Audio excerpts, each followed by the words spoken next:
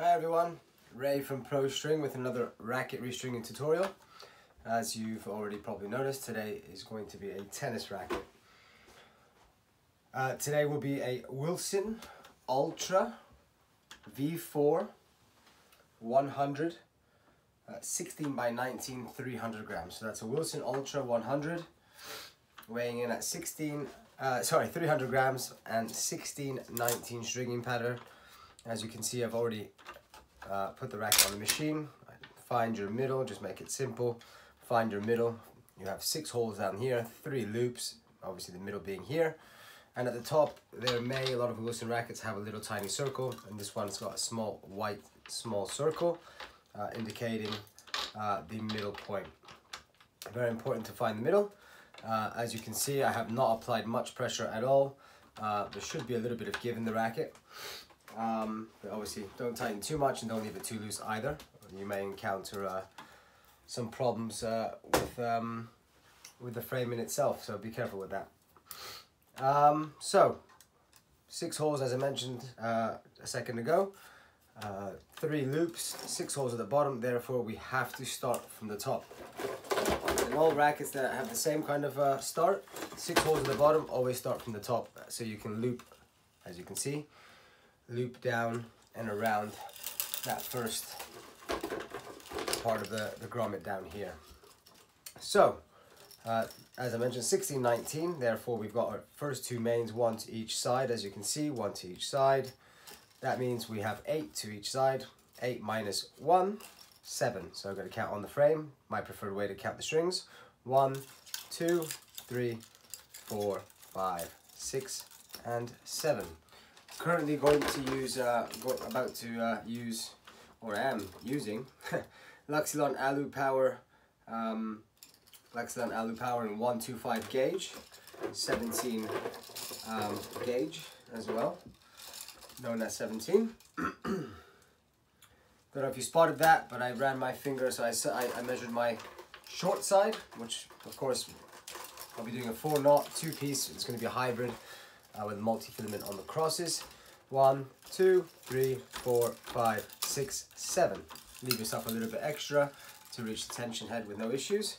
And then, as you may have noticed a second ago, I just ran my fingers through the string as so. I've got one side measured to my liking. And now I cut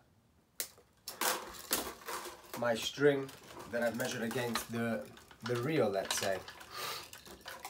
So we're gonna clamp down here, don't clamp at the top. and now we'll start our mains and the tension requested is 50, 54 pounds. 54 pounds of tension. And there you have it. We're going to, as always, string three strings to each side. Compensating the tension of the strings throughout the racket.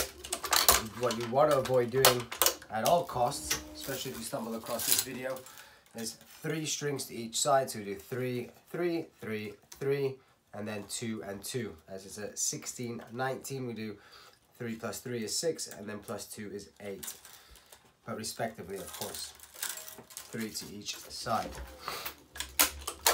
And there you have it, my first three mains.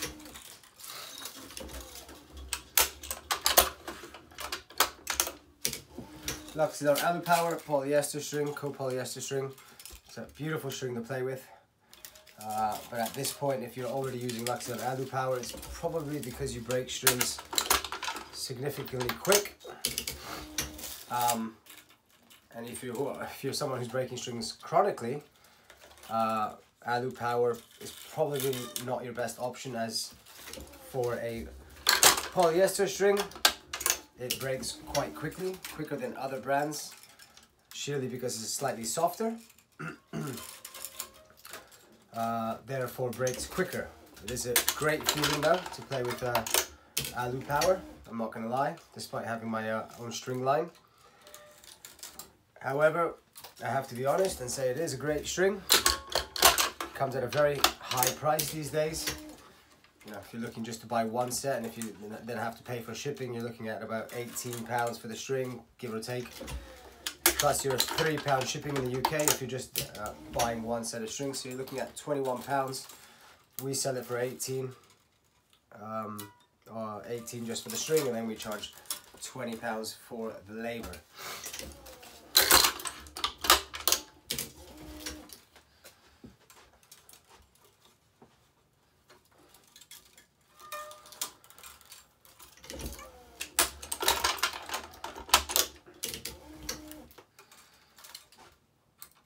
This is the, the latest Wilson Ultra. There isn't, um,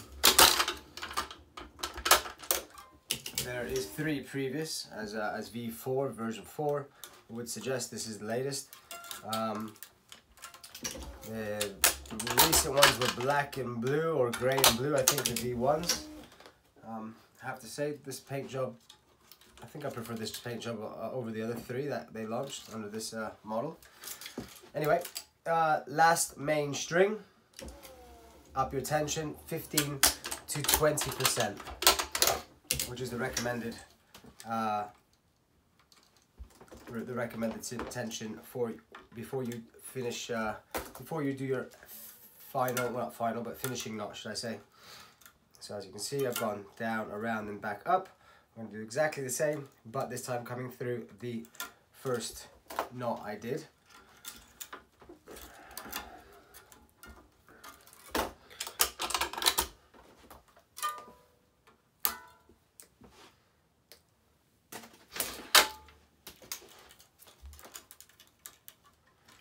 my seventh main to my, the other side that we're about to finish as well.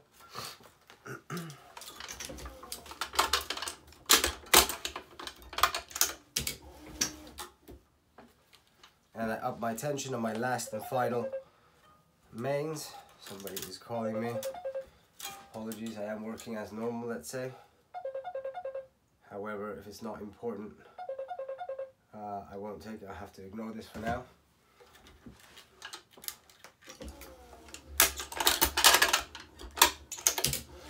Not business related, so I'll only take calls if I'm doing videos if they are streaming related. Um, very important for us to take the calls on the first go. On the first call, if not, a lot of times they found your number on Google and they may just scroll down to the next guy, next company. And that's a, a lost client.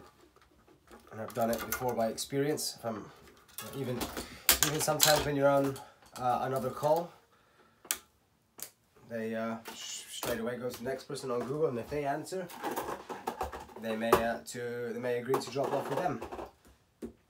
Right, so that's your mains. Now for our crosses, 16, 19, all I need is seven and a half full lengths of the racket. Full lengths, not just the head. There's sometimes people, oh, just the head. No, full size of the racket. 27 inches, seven and a half times. Three, four, five, six, seven and a half.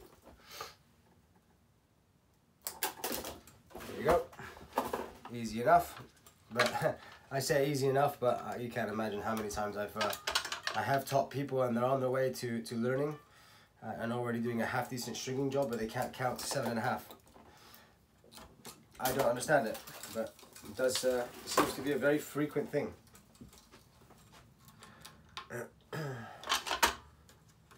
For some reason. I don't know why. Very strange. Anyway, we start our crosses. I've tied my uh, starting knot, which is a parnell knot. I always use a parnell knot uh, on my uh, seventh main string. So one, two, three, four, five, six, seven. Tie my knot, and then for use for for those who uh, may be just starting out, this stringing pattern goes as such one, two, three, four, five, six, seven. Skip one, eight. When I say skip one, that's your cross string.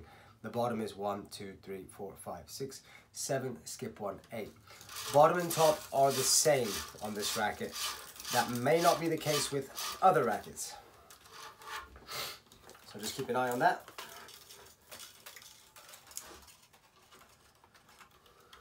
Another busy day for us again here at Pro String, London.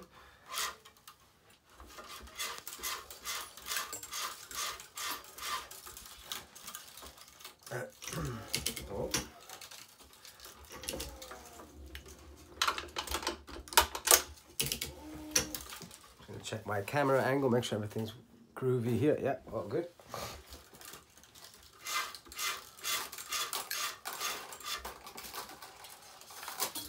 As you just noticed, I've pushed my string up, get that out of the way.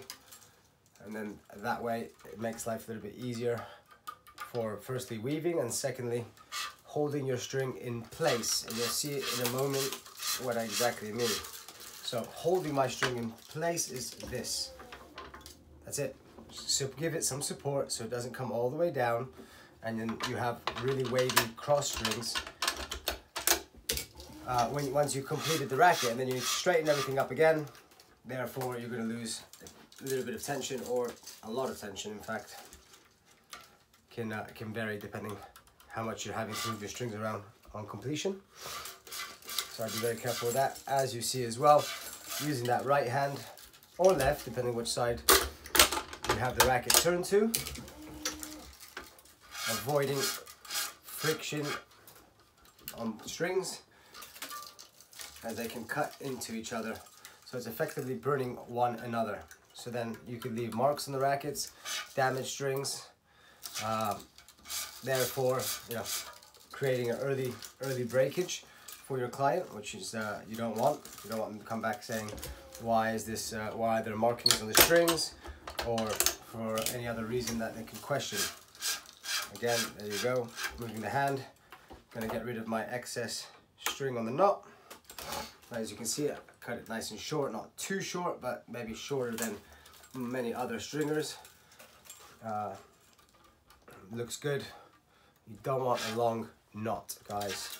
Doesn't look good, doesn't look good.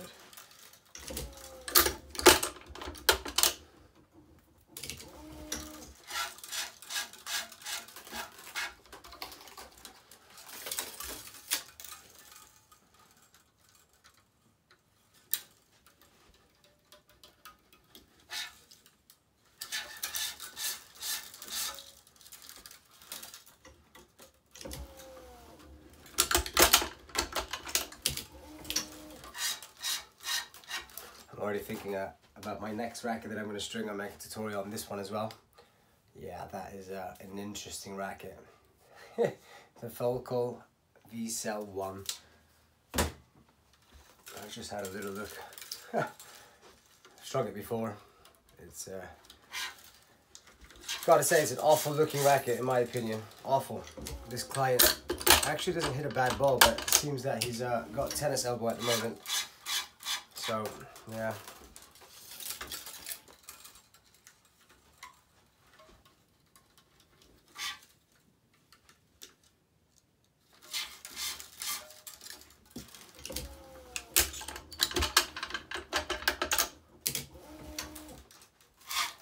As you guys can probably tell, I'm always weaving two strings. So I've got one weave and now I'll do my second. That just makes your next weave, so the one I'm doing now, for example, it just makes it easier. There's less tension on that next string. So if you're just doing one at a time, it's always a bit more difficult to weave your one and only string. So that's why we tend to uh, string one ahead. Uh, all the Grand Slam stringers do it, even not Grand Slam, all the tour, should I say. All the professional tour stringers, WTA, ATP, uh, they all do it.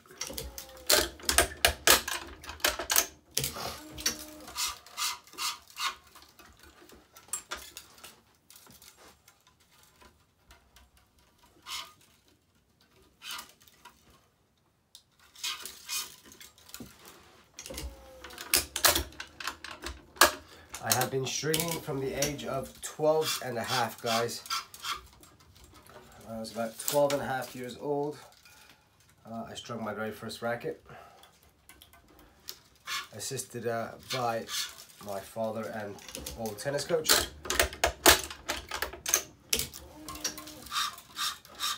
Started stringing, uh, I was 12 and a half and I was living in Spain, Marbella at that point. Uh, so as soon as I could break strings uh, weekly, give or take. I just bought a manual stringing machine because we couldn't really afford to pay stringers. So needed to learn. Uh, and shortly after me starting to break strings, then my brother started breaking strings at the age of, yeah, he was very young when he started, uh, when he was able to break strings. He was what, eight, nine, nine years old when he started breaking with some kind of frequency. He was a very good nine-year-old, though, one of the best, uh, the best in Spain, under 10s, 12s, 18s as well, I think, 15s. He won national under 15s. He's actually ranked uh, 300 and 318 in the world at the moment. Or give or take three something. Early 300s unfortunately at the moment, or fortunately depending how you look at it. So it's very hard to survive uh, with that ranking. It was a uh, best ranking was 130, 31 or 32, just before the lockdowns unfortunately. So that didn't really help him uh, COVID lockdowns is what I mean. So yeah, he's trying to find his way back a little bit.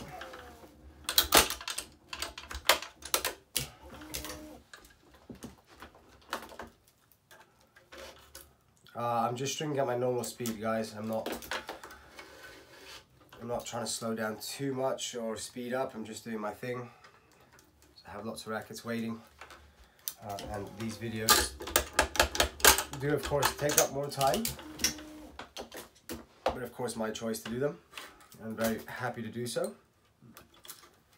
So just a reminder your the string that you're always weaving next uh, as you may already know if you've looked at a tennis racket before and if you haven't and very unfamiliar every weave needs to be different to the top one. So always the opposite. If the string is going under it needs to go over on the next weave and so on and so on but we're on our last cross, guys. That was, uh, I think that was relatively quick, probably. I pressed my knot button to go up 15%, which I have this Wilson Baiardo original programmed at. And now we're gonna tie our knot, find our next, our nearest, should I say, anchor string, which is down here, nice and easy. Bring the string up, we're gonna go down and through this original first loop don't tighten it. Again, this is called the Parnell knot. Back down and through my first knot. Tends to be the string that's closest to you, the one you're going to pull, um, just the way it lies. Uh, you're going to pull it, don't pull too hard, unnecessary, and then pull up again. There you have it. Get rid of my knot, excess string. And there you have it guys. So, very important as well, your racket should just pop off your machine as so. There should be no real tension to uh, take your racket off the machine. If you're finding uh, finding it difficult to get difficult to get your racket off the machine, then you know that you've just put far too much pressure on the on the mounting system or on your racket. There you have it, guys. The Wilson V4 Ultra 100. Okay? I hope there was some valuable stuff in there for you guys. Um, and uh, until the next racket, happy stringing, guys. Take care. Bye-bye.